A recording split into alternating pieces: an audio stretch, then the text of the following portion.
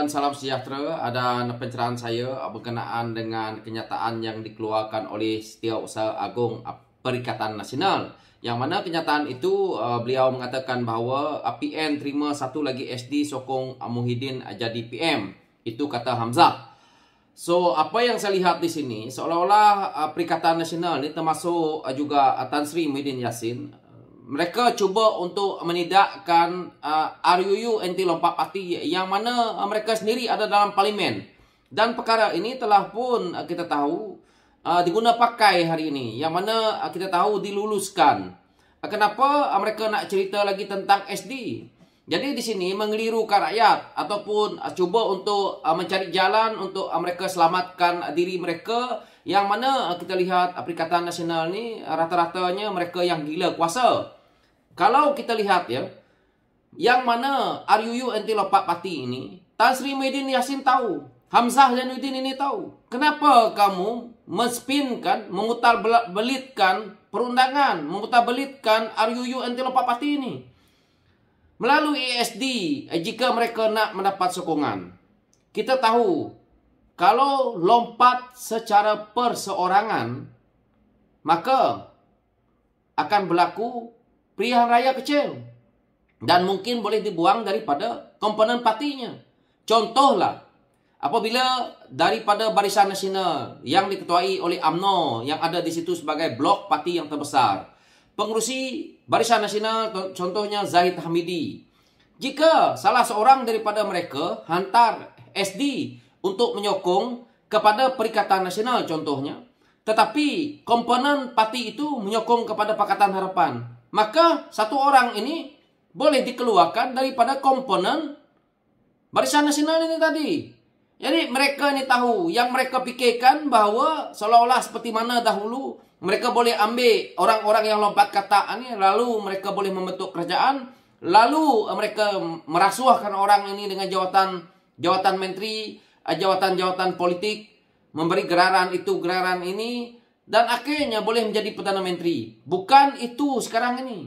Rakyat juga kena tahu. Itu sebabnya ada kebaikannya, ada keberkesanannya RUU anti lompat parti ini. Kalau ada yang sanggup hantar SD lepas ni, maka bersiap-siaplah kita buat pilihan raya kecil di kawasan itu. Itu adalah yang termaktub yang kita dengar daripada parlimen. Jadi apa yang Tan Sri Muhyiddin Yassin ni cakap seolah-olah dia melawan arus dengan uh, kedudukan parlimen. Kita pula dengar kenyataan daripada GPS seolah-olah buat U-turn. Apabila surat yang tertular dalam media sosial, dia menyerahkan kuasa yang mana ahli parlimen mereka uh, yang mana parti yang nak membentuk kerajaan maka mereka akan uh, mempertimbangkan itu melalui yang di Pertuan Agong. Apakah parti GPS ni parti yang tak ada telur? Semua benda nak menunggu keputusan menunggu keputusan orang lain, menunggu itu ini. Inilah play safe yang GPS main. Kerana apa? Kalau betul nanti BN bersama PHS membentuk kerajaan, maka mereka nak menyelinap masuk. Akhirnya GPS ni akan main lagi satu isu yang mana dia kata PHS gagal 22 bulan. Saya tak nak ungkit perkara ini. Tetapi sebelum Bang Jo, sebelum Premier umumkan yang mana seolah-olah GPS ini mempunyai 112 kerusi. Dia yang awal umumkan. Sedangkan Pakatan Harapan ada kerusi yang paling tinggi. Tetapi Premier Sarawak yang lebih-lebih. Premier Sarawak ni ahli parlimen ke? Cuma pengurusi kepada GPS. Dia ahli adun tarafnya. Tetapi dia yang lebih. Mentang-mentang inilah sikapnya pemimpin-pemimpin ni. Lepas itu, saya tengok pemimpin dia bersuara pula hari ini. Konon-kononnya, Amerika mempertikaikan Barisan Nasional 30 kerusi macam mana nak membentuk kerajaan. Kepala bapak dia, dia sendiri ada 23 kerusi. Macam mana kau nak membentuk kerajaan juga? Kau juga penumpang. Lepas itu dia pertikaikan Barisan Nasional. Lebih baik Barisan Nasional daripada GPS. Jadi tengok bagaimana mereka ini cuba memecah belah kan. Yang mana kita rakyat juga perlu tahu. Hari ini apa sebabnya GPS ni tidak nak bergabung dengan Pakatan Harapan? Apa sebabnya GPS ini sanggup bersekongkol dengan PAS dan Perikatan Nasional? Yang mana kita tahu bersatu Tan Sri Medin Yassin begitu resis memainkan isu perkauman. Yang mana kita PAS ni memang kita tahu isunya adalah keagamaan. Kenapa dia tidak nak parti multiracial yang mana kita tahu rakyat Sarawak itu sendiri mahukan berbilang kaum. Tetapi cuba untuk dimainkan oleh GPS. Hari ini kita tengok apabila keadaan macam ni, kita berbalik kepada cerita Tan Sri Medin Yassin.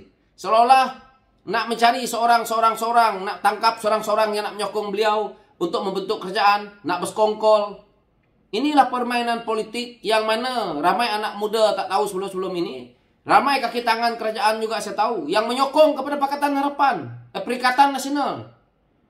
Akhirnya hari ini, apabila berlaku seperti ini, siapa yang susah? Tetapi nanti sibuk dengan masalah ekonomi tak bagus, sibuk dengan itu ini. Kita dah tahu bagaimana Tan Sri Muhyiddin Yassin membentuk kerajaan dahulu. Kita tahu pembelian vaksin. Waktu Tan Sri Muhyiddin Yassin, mana letak duit yang berbilion tu? Ini perlu kita lihat. Jangan dia sentuh saja tentang nak membenteras rasuah tetapi kepalanya masih ada lagi dengan mereka kita tidak boleh menyalahkan AMNO saja dulu kenapa saya tak kritik kerajaan Tan Sri Muhyiddin Yassin kenapa kerajaan yang lepas saya agak tidak malas nak ni menteri KDN-nya adalah Hamzah Zainuddin hari ini kita tengok lepas ini Hamzah Zainuddin kamu bukan lagi menteri KDN Ha, bersuaralah kamu nanti kita tengok. Ramai akan kritik kamu kerana Muhyiddin menggunakan jentera kerajaan untuk tutup dia. Kita pun di uh, kawal. Ha. Jadi kali ini saya harap lebih baik kita tubuhkan kerajaan yang mana UMNO, uh, Barisan Nasional bergabung dengan Pakatan Harapan. Mungkin ada lagi parti-parti bebas ataupun parti-parti daripada, uh, daripada Sabah jangan bergabung dengan GPS. Kita tentukan GPS ni jadi pembangkang. Biar kita tahu. Kita perlu hajar dulu. Ha. Sebelum-sebelum ini, dia rasa bahawa ha, Sarawak banyak duit. Lepas ni saya nak tengok Sarawak punya banyak duit ni. Saya kritik ini kerana dia menghentam Pakatan Harapan begitu teruk sekali. Akhirnya seolah-olah GPS yang punya 80 lebih kerusi.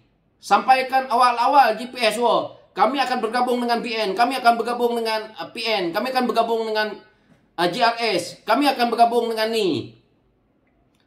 Akhirnya kita hari ini tengok surat uh, diputuskan harap uh, yang di Pertuan Agung putuskan untuk meletak mereka di uh, mana-mana. Kenapa nak menyusahkan yang di Pertuan Agung? Kamu yang bermain politik menyusahkan yang di Pertuan Agung. Buatlah kamu punya ketetapan mana yang kamu nak pilih. Saya harap keputusan daripada pucuk pimpinan Pakatan Harapan dan juga Barisan Nasional jika cukup majoriti tinggalkan GPS. Kerana pemimpin GPS banyak menindas pihak-pihak pembangkang nak datang ke Sarawak pun tak boleh. Mereka gunakan kuasa MA63 bukan untuk membantu rakyat Sarawak. Tetapi untuk menyekat pemimpin-pemimpin yang ada integriti yang selama ini baik membongkar banyak isu seperti Rafizi dan yang lain-lain biarkan GPS dengan labu-labunya dengan labi-labinya dengan apa semuanya biar tenggelam sama sekali kerana dia menggunakan benda-benda ini lepas ini kalau Rafizi jadi menteri saya nak tengok ah, dia nak tahan Rafizi dekat mana ah, baru dia tahu hmm, kau tahan menteri turun kepada negeri kau kau nak duduk mana lepas tu Ha. ha. inilah dia. Jadi saya banyak melihat kepada permainan kotor politik GPS ni yang mana dia cuba nak menipu anak-anak muda. Yang mana pimpinan-pimpinan kanannya kalau buat sidang media nak ketawa pun ada saya tengok. Pembohongannya tak lepas-lepas. Nak cover sana, nak cover sini. Itulah. Jangan jadi kaki bodek selama-lamanya. So itu pencerahan saya. Sekian. Terima kasih.